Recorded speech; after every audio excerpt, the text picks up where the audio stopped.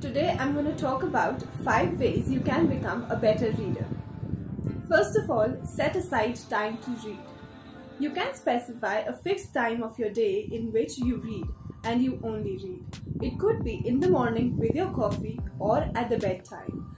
But the only thing you need to make sure is that you read at that time no matter what. The next point is to take it slow. With all the rush around in the Bookstagram community or on YouTube also, there's a lot of people who read a lot of books in very less time. But that should not deter you. You can take it slow and enjoy the experience of reading. This way you will definitely become a better reader in the time to come. The next point is to read out loud. It might be awkward in the beginning to read out loud because people would be hearing you.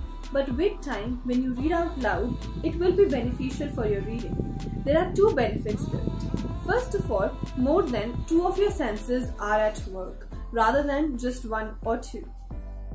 Another thing that helps you here is that you would be able to pick up the tone of the author very quickly and in a better manner, thus understanding the text better. The next point is to write.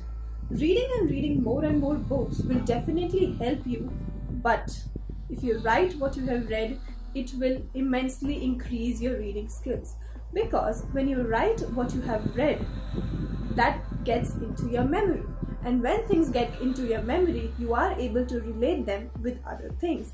And thus, writing along with reading becomes a very good combination for improving your reading skills. The last point is to tell your friends.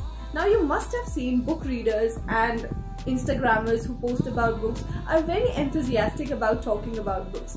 And that is one sole reason that helps us increase our reading skills.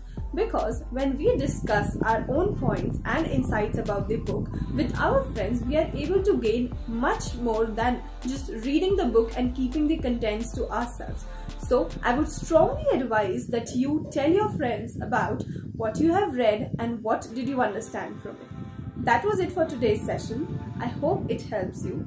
Tell me in the comments below what would you like me to talk about. Until then, goodbye.